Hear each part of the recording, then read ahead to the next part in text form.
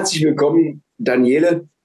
Äh, ich möchte zunächst starten mit einer menschelnden, sehr persönlichen Frage. Wie ist das Gefühlsauf und Ab? Nehmen wir mal so ein Beispiel wie meine frühere Wahlkreisstadt Hannover. Äh, wenn man erst kämpfen muss, überhaupt den Mietvertrag aufrecht erhalten zu bekommen, zugelassen zu sein in einer Stadthalle, dann die Menschen dort sieht und dann den Auftritt selber erlebt und wie sind dann die Gefühle danach? Ähm, Dieter, vielen Dank für die Einladung fürs Gespräch. Das ist ein sehr intensives Gefühl, weil die Leute sehr dankbar sind, die kommen. Ähm, zuvor wissen die ja dann auch nicht, wird das noch abgesagt, weil Druck gemacht wird in den Medien. Die haben schon Tickets gekauft. Ich selber weiß manchmal auch nicht, äh, können wir den Anlass überhaupt durchführen. Und jetzt in Hannover, da war, kamen, wenn ich es richtig in Erinnerung habe, 2800 Menschen. Also der Raum war ausverkauft. Draußen stand Polizei, es gab auch eine Gegendemonstration. Die Leute haben aber mit sehr viel Interesse zugehört und so ist es eigentlich insgesamt, es ist ein, ein, ein wirklich ein intensives, ein schönes Erlebnis. Aber es ist schon vor dem Anlass, gibt es so ein bisschen dieses Zittern, dass man sich fragt, wird alles klappen? Fühlst du dich so ein bisschen wie ein Outlaw? Ja, also ich bin, ich fühle mich einfach wie ein Friedenskämpfer. Ich sage, wir sollten keine Panzer in die Ukraine liefern. Die Deutschen sollten keine Panzer in die Ukraine liefern. Man sollte nicht nochmal Krieg führen mit Russland. Das hat man im Zweiten Weltkrieg gemacht. Und indem man ukrainische Soldaten in Deutschland trainiert und indem man deutsche Waffen an die Ukraine liefert, ist man eindeutig Kriegspartei. Aus meiner Sicht, ich weiß, es gibt andere Meinungen, das ist meine Analyse. Und da fühle ich mich wie ein, ein Friedenskämpfer, der sagt, Achtung, Achtung, nicht wieder ähm, ein Flächenbrand in Europa. Das will ich einfach gar nicht. Ich will auch nicht, dass die Schweiz die Neutralität aufgibt. Hat die Schweizer Regierung trotzdem getan und die deutsche Regierung hat trotzdem die Panzer geliefert. Das heißt, als Historiker bin ich natürlich Kommentator. Ich kann es nicht wirklich verhindern, was die Regierungen tun, aber ich nehme mir die Freiheit heraus, die Regierungen zu kritisieren.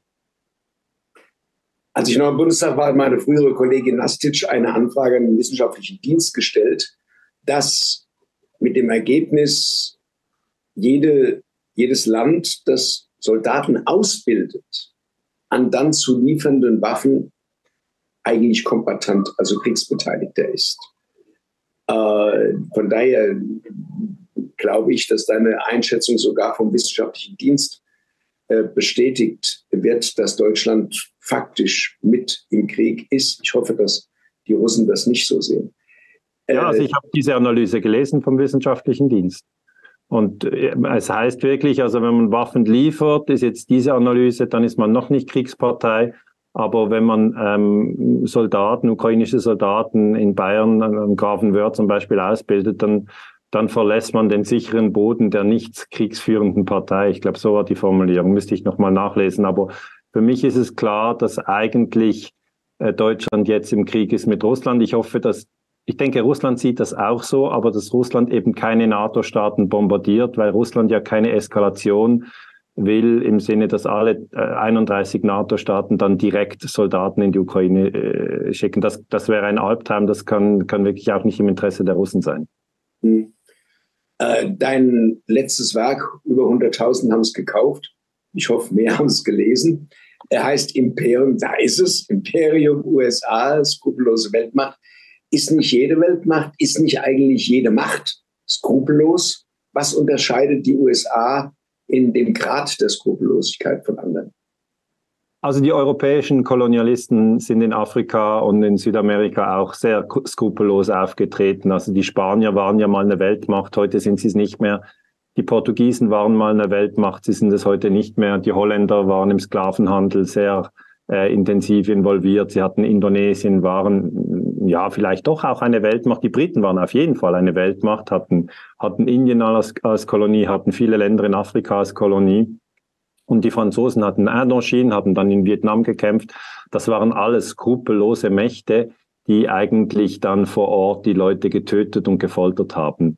Und die USA sind einfach jetzt das aktuelle Imperium und das versuche ich in diesem Buch zu erklären. Ich sage, die USA haben das größte Militärbudget, 880 Milliarden Dollar pro Jahr. Das sind also mehr als zwei Milliarden Dollar pro Tag. Und das ist natürlich eine andere Dimension, als man früher hatte. Die USA haben elf äh, Flugzeugträger. Flugzeugträger gab es früher gar nicht. Sie haben ähm, natürlich in ganz vielen Ländern haben sie Militärstützpunkte. Sie haben natürlich in Deutschland Rammstein, ein sehr großer Militärstützpunkt. Sie haben aber auch auf Kuba Guantanamo, Sie haben in Italien Militärstützpunkte, Sie haben Militärstützpunkte in Afghanistan, in Japan, in Südkorea. Und umgekehrt haben ja die Südkoreaner keine Militärstützpunkte in den USA oder die Deutschen haben keine Militärstützpunkte in den USA oder Kuba hat keine Militärstützpunkte in den USA. Und das definiert eigentlich ein Imperium. Und ich bin eigentlich im Buch die Zahlen durchgegangen und die USA sind einfach das Land, ähm, das am meisten Länder bombardiert hat von 1945 bis 2023. Ähm, das bedeutet aber trotzdem, dass die russische Invasion illegal ist in die Ukraine vom 24. Februar 22. Aber ich sage immer, zuvor, 2014, haben die USA in der Ukraine die Regierung gestürzt. Das war eben wieder ein ganz fatales Ereignis, sozusagen wie der Putsch gegen Allende 73 in Chile oder der Sturz von Mossadegh im Iran 1953. Oder Shuhato Shukano. Ja, genau. Indonesien, sehr wichtiger Punkt, 60er Jahre, wird oft, wird oft vergessen, habe ich auch im Buch den, der, der Putsch in Indonesien, wo die, ja, die blockfreien Staaten eigentlich unterdrückt wurden, sich zu entwickeln. Ja. Und äh, ich glaube, diesmal, dieser Putsch in der Ukraine war einer zu viel. Ähm, das führt jetzt wirklich in eine Konfrontation zwischen den NATO-Staaten auf der einen Seite, das sind etwa eine Milliarde Menschen, grob gesagt, und den BRICS-Staaten auf der anderen Seite, das sind etwa drei Milliarden Menschen. Und da sollte die NATO nicht einfach denken, dass man auf jeden Fall stärker und überlegen ist, sondern die NATO-Staaten sollten selber einsehen, äh, dass unser äh, größtes Interesse eigentlich ist, hier wieder Frieden zu finden, Frieden, Frieden zu finden, auch in der Ukraine. Ich weiß, dass du dich auch dafür für den Frieden engagierst und ja, da, da hoffe ich, dass die Leute sich einfach zusammenschließen, die sagen, wir können wir können hier nicht einfach durch Waffenlieferungen sozusagen Frieden erzielen. Das geht nicht.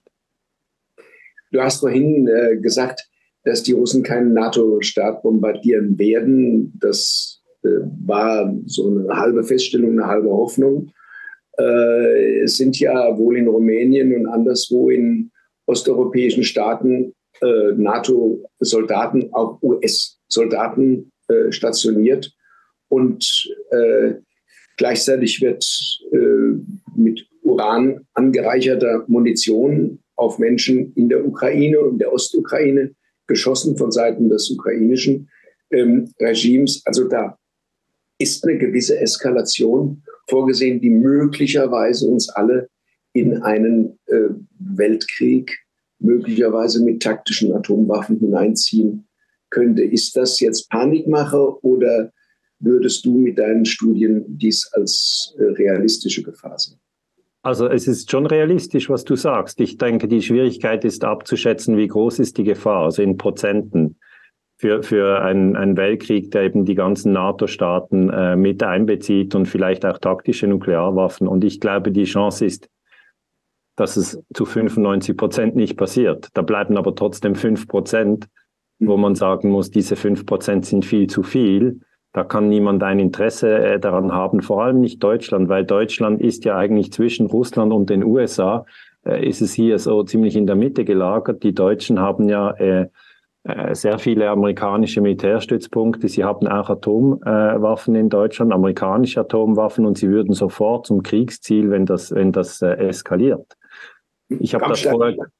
Amstein, Amstein und Büschel sind ja auch die Spionagezentren und auch Drohnen Kommandozentren überhaupt, äh, ich glaube, mit die größten auf der Welt.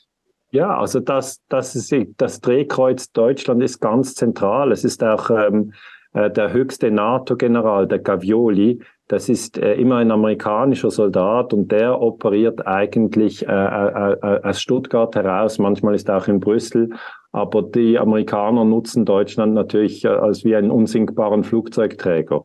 Und das ist, ist die Schwierigkeit jetzt, ähm, was die Deutschen jetzt machen sollen. Ich bin auch der Meinung, dass Seymour Hirsch äh, die Analyse richtig gemacht hat und gesagt hat, die äh, Nord Stream Pipeline wurde durch die USA gesprengt am 26. Februar 22. Ich weiß, es gibt noch diese zweite Geschichte, dass die Ukrainer das waren, aber ich glaube nicht, dass es die Ukrainer waren. Das ist diese Andromeda-Yacht-Geschichte, die mich persönlich nicht überzeugt, aber da soll sich jeder selber eine Meinung machen.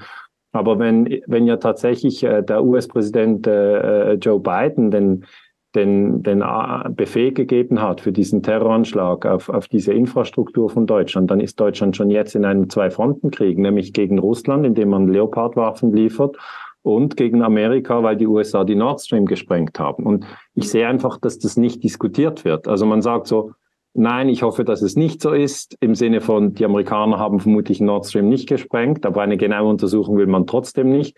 Und auf der anderen Seite sagt man, nein, die Russen sehen das sicher nicht so äh, dramatisch, dass wir hier ukrainische Soldaten ausbilden und auch äh, Leopard liefern. Man, man, man, man, man macht so wie ein kleines Kind die Hand vor, vor die Augen und sagt, ja, ich sehe euch nicht, dann gehe ich davon aus, ihr seht mich auch nicht.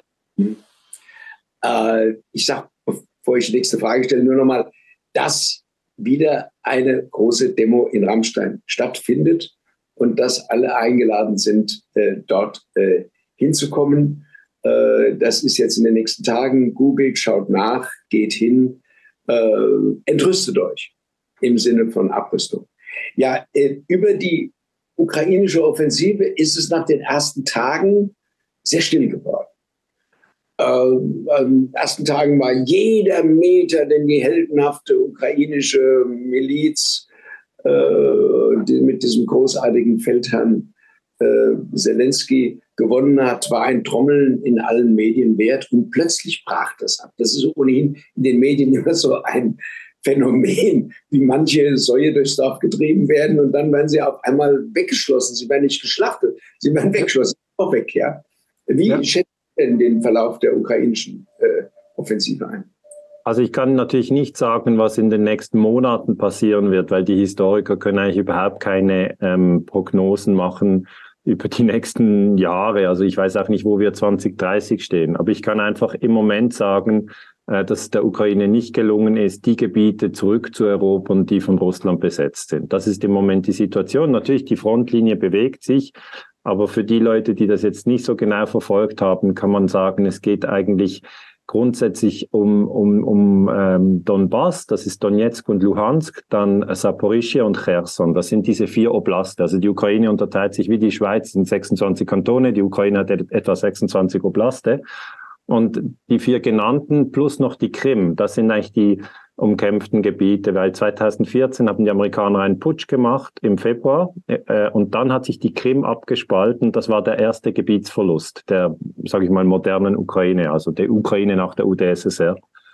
Und äh, Präsident Zelensky sagt, er möchte die Krim zurückerobern. Da ist im Moment, äh, sehe ich das gar nicht, dass er das äh, im Moment schafft. Und dann im September 2022, also im gleichen Monat, als die Nord Stream in die Luft gesprengt wurde, äh, gab es eigentlich in diesen vier anderen Oblaste, Cherson liegt gerade nördlich der Krim, ist also zuerst müsste man Cherson erobern, um dann eigentlich die Krim zu erobern, äh, hat sich Cherson zu, zu Russland geschlagen und äh, Saporischje, Donetsk und Luhansk auch. Das heißt, die Ukraine hat Quadratkilometer verloren in den letzten neun Kriegsjahren. Ich sage immer, es sind neun Jahre Krieg, es ist nicht ein Jahr Krieg, weil es gab ja Bürgerkrieg nach dem Putsch der USA. Und die, die, die Idee von Zelensky ist jetzt, dass man diese fünf Oblaste, also Krim, Cherson, Saporischje, Donetsk und Luhansk, dass man die wieder erobert. Und wie du richtig sagst, mit dieser äh, Offensive hat man gesagt, ähm, äh, ja, hofft man, dass man die Russen wieder zurück über die alte Landesgrenze äh, zurücktreibt. Und da kann ich einfach sagen, das ist nicht gelungen. Was ich auch gesehen habe, ist, dass die Ukraine jetzt russisches äh, Gebiet angegriffen haben. Das ist Belgorod. Das ist also eine Stadt an der Grenze zur Ukraine, aber es ist trotzdem in Russland drin. Und das wäre natürlich dann äh, sozusagen mein Albtraum, wenn dann die Russen sagen, ja gut, dann, dann greifen wir Polen an, weil das sind die Nachschubslinien. Oder dann, dann greifen wir Estland, Lettland, Litauen. Weil ein Krieg ist immer wie ein Krebs. Ja, der bildet Metastasen. Und ähm, du weißt gar nicht genau, wo diese Metastasen hochkommen. Eine Metastase ist eben in der, in der Ostsee. Das ist eigentlich, da denkst du, was dort? Und Belgorod ist eine andere Metastase, die nicht mehr im ursprünglichen äh, Kampfgebiet ist. Und ich hoffe, dass es nicht noch weitere gibt. Das ist eigentlich meine Hoffnung. Bevor ich auf mögliche Friedensaussichten komme, eine ketzerische Frage. Sehr ketzerisch und ich formuliere sie deswegen umso vorsichtiger.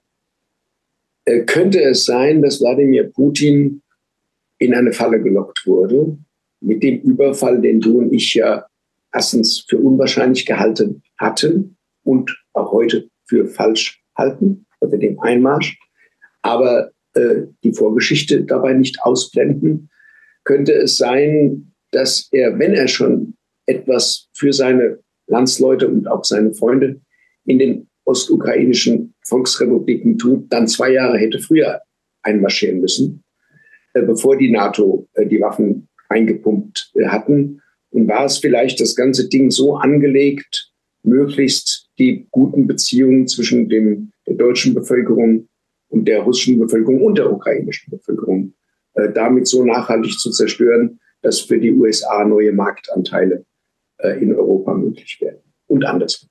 Ja, also so ketzerisch ist die Frage gar nicht. Also wenn man sich jetzt in die, in die strategische Literatur in den USA ähm, einliest, dann ist ein wichtiger Autor ist George Friedman. Der war Anführer von Stratfor. Und er hat einfach gesagt, in einem Vortrag 2015 in Chicago hat er gesagt, es war immer das Ziel der amerikanischen Außenpolitik, ähm, eigentlich eine gute äh, Freundschaft und Zusammenarbeit zwischen Berlin und Moskau zu verhindern.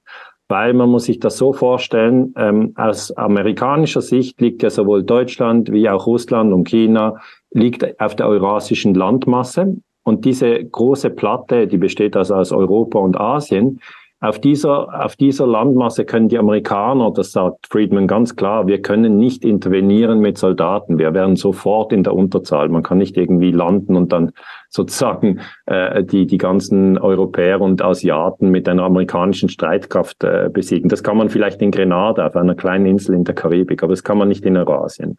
Und dann sagt George Friedman, ähm, wesentlich ist eben die Spannungen innerhalb von äh, Europa zu nutzen. Und Russland gehört ja zu Europa bis zum Ural, ja, und dann gehört es zu Asien. Und jetzt hat man eigentlich zwei europäische Mächte, nämlich die Deutschen und die Russen, hat man gegeneinander aufgebracht, aus amerikanischer Sicht wiederum. Und das ist aus amerikanischer Sicht sehr, sehr klug, weil die Deutschen sind die viertgrößte Wirtschaftsnation, die USA, China und Japan sind auf Plätzen eins bis drei. Und jetzt schaltet man also die viertgrößte Wirtschaftsnation aus und Russland ist flächenmäßig das größte Land. Und aus imperialer Logik, ähm, ich beschreibe das auch hier, Kampf um Eurasien, erkläre ich das, was Friedman alles gesagt hat, wer das nachlesen möchte.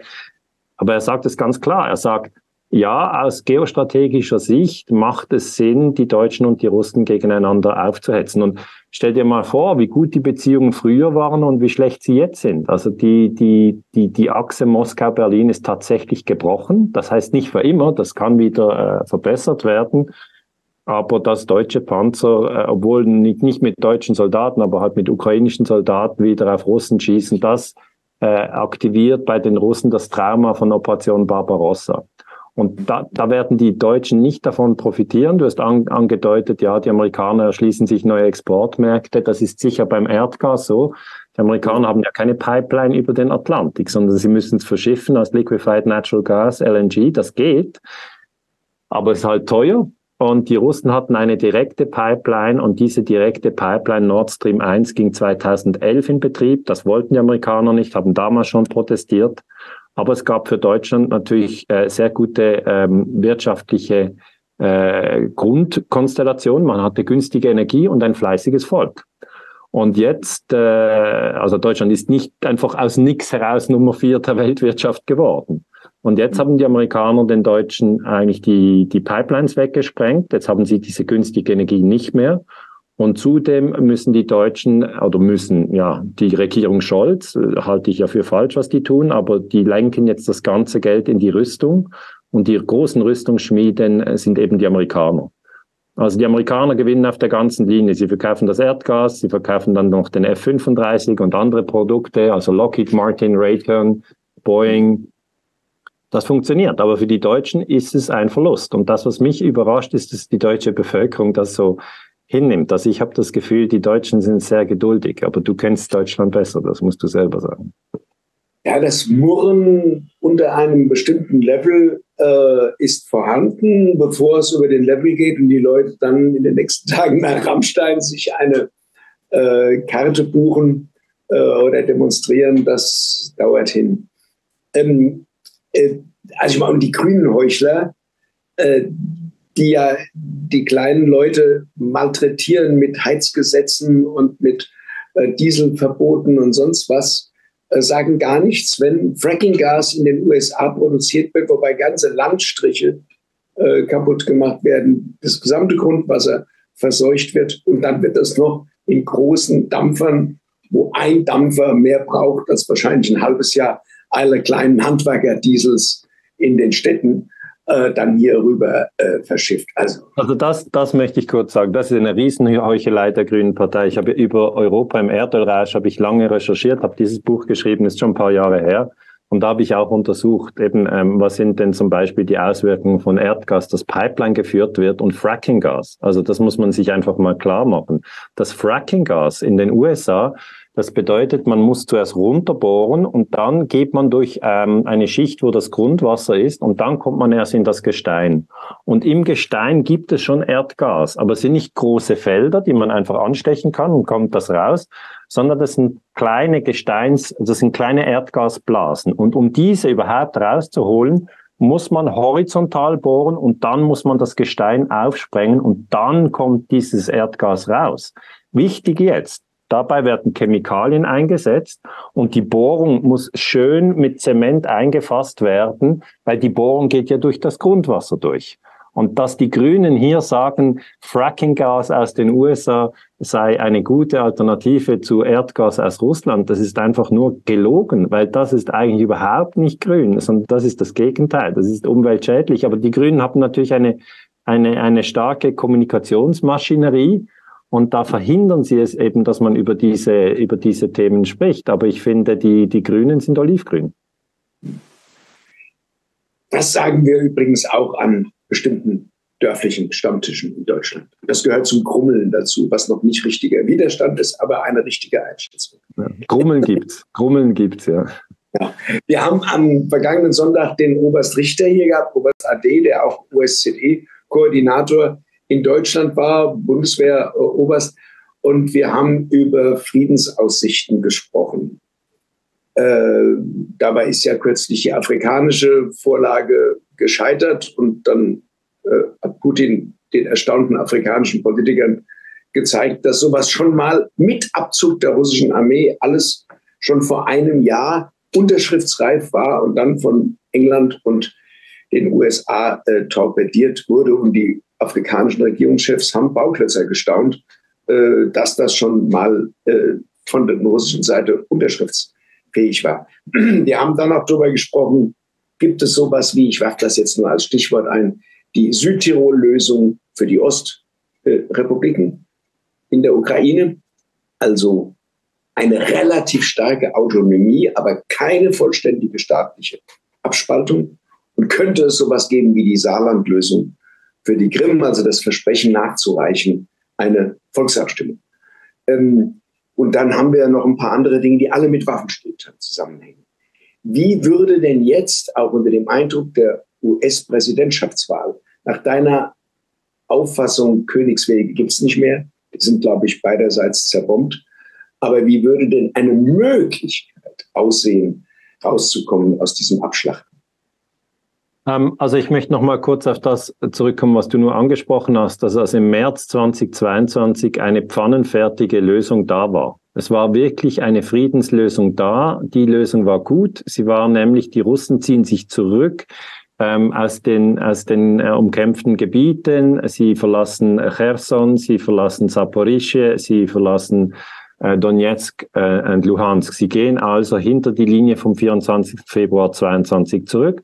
Sie behalten die Krim und die Ukraine im Gegenzug sagt, wir werden der NATO nicht beitreten. Das hätte ich wirklich eigentlich als die beste ähm, Lösung geha gehalten und, und, und die Amerikaner und die Briten haben, und da muss man wirklich noch mal ein bisschen tiefer reingehen in die Materie. Es geht ja um Premierminister Johnson, der jetzt auch andere Skandale äh, ist er ist, ist er eigentlich mit, weil er während Corona Partys gefeiert hat etc. ist eh eine, ein unglaubwürdiger Politiker. Und dann äh, Joe Biden, der ja den Putsch gemacht hat, da war er Vizepräsident 2014. Also diese zwei Personen muss die historische Forschung genau in den Fokus nehmen und sagen, wie kann es sein, dass Joe Biden und, und Boris Johnson diesen Frieden sabotiert haben. Und es sieht aber noch, man muss da sicher noch mehr wissen, aber es sieht danach aus, dass eben im Februar äh, 2022. Das ist ein Monat nach der russischen Invasion, hätte man diesen Krieg stoppen können.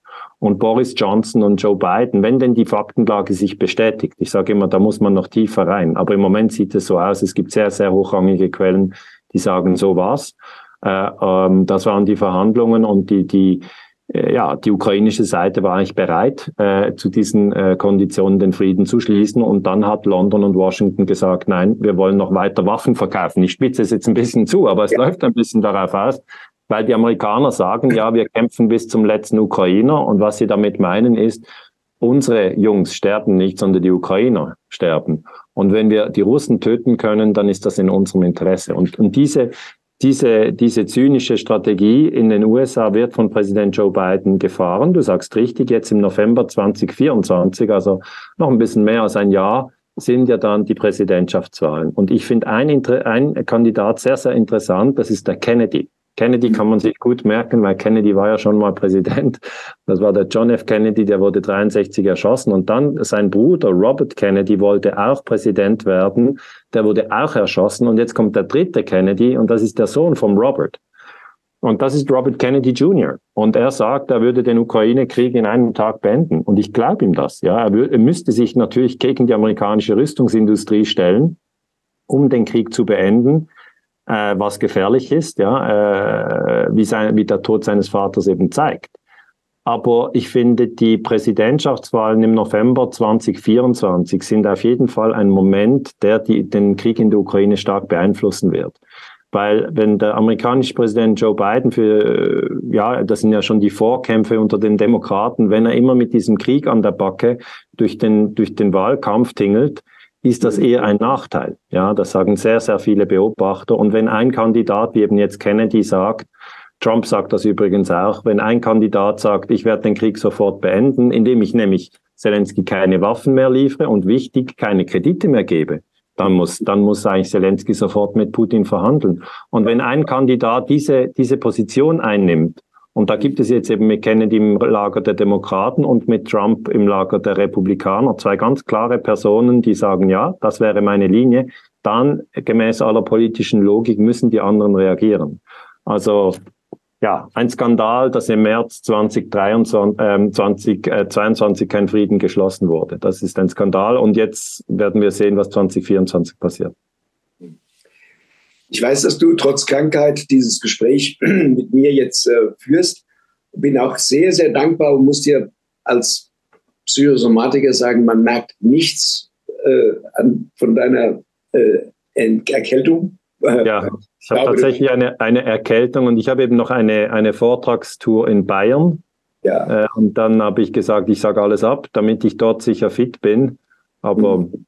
ja, ich kämpfe also, kämpf mich jetzt halt durch. Ist auch komisch, wenn man im Sommer eine Erkältung hat bei 30 Grad, aber so ist es. Es kommt, es ist auch, äh, gibt es auch Begründung. Also herzlichen Dank für Mods auf Deutsch, dass du dabei bist und dass du äh, hoffentlich auch beim nächsten Mal, beim übernächsten Mal mal reinschaust und vielleicht unser äh, häufigerer Gast bleibt. Ich bin immer fasziniert von der Gradlinigkeit, von der Heiterkeit, von deinem freundlichen Gesicht beim Aussprechen auch unfreundlicher Fakten. Äh, das ist ja etwas, was Linke oftmals vermissen lassen, weil sie dann verbiestert gucken. Äh, und so bei dir ist es so, man geht mit dir auch, weil man eben spürt, hier ist ein Mensch, der souverän auch den Freuden und nicht nur den Unfreundlichkeiten der Welt zugetan ist. Also nochmal herzlichen Dank und Grüße in die Schweiz. Alles Gute und gute Besserung. Vielen Dank, Dieter, und danke dir für dein Engagement für den Frieden. Es ist sehr wichtig und ich weiß, dass es ganz viele Menschen in Deutschland gibt, die keinen Krieg wollen. Es gibt ja auch die aktuellen Umfragen, die zeigen, äh, die Menschen wollen Frieden. Sie werden zu wenig abgebildet in den Massenmedien, also ARD, ZDF, Süddeutsche Zeitung. Und darum bin ich froh, dass es dein Format gibt.